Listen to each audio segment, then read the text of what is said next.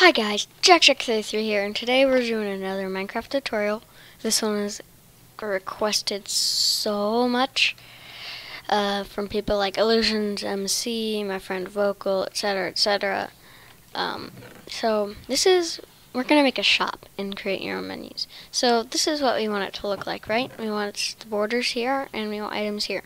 But there's no items in it yet because we're gonna have to make those. So let's say you wanted to sell some wheat. Well, you can have a boring wheat name, or you can do menu script title wheat. And what I like to do for the lore, we'll have, well, let's do the script first. So let's say you want the wheat to be $20. You have to have Vault, by the way. I forgot to mention that. You have to have create your menus in Vault to do this. Vault plugin. You'll see I have it. Uh, where is it? There it is and what it does is it allows you to do this specific um, create your menus command. This only works in menus and on items. So, so I'll show you what it is. So what you're going to want to do is menu, script, add, require, currency, and then a number you don't want to put in $20. You want to put in 20. So you see, you must have at least $20 to do this. So after that, we want it to give them the item and take their money. So not not all their money, just just the twenty dollars. So menu script add slash give at p wheat one, and that should work. Must have twenty dollars. I forgot. Eco give JackJack33 Boop. And now I have a wheat. But now we want it to take their money, so I can't just do this. So now what we do is menu, script, add, slash eco, take, at p, 20. And like the other one, do not put dollars. So now if I do this, I can't do it again because I don't I only had one of $20. So now it looks pretty ugly, doesn't it?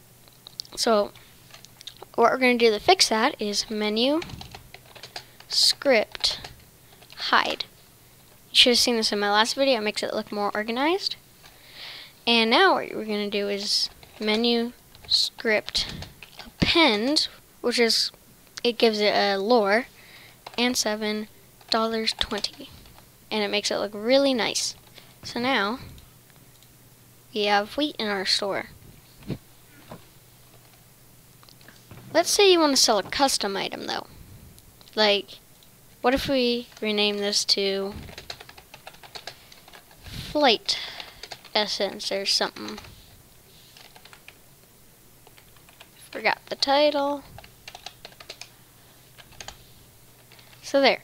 What if we want to give him Flight, flight Essence uh, for $30? Well, menu, script, add, slash require, currency, 30. Must have $30 to do this. Okay, now we're going to do give at p nether star 1 but here's where it gets tricky you gotta go name um, colon and then color codes work here, so Andy flight. You can't do spaces, so okay. Now that that that has added, we need to take the money. Menu script add slash eco, take at p 30. So now can't have it yet. I'll give myself $30. So now, yep, and now I have Flight Essence. That's how you do custom items. Menu script hide. Menu script append $30. Now you're probably like, Jack, but how do we put this in a menu? Well, I'm going to create another menu. Menu, create, um, ID, let's have it as shop. Five rows. Um, what do we want to call it? Cool item shop. Eh, shop. Can't get stuff right. cool item shop. Menu has been created. So let's get these, this, and this.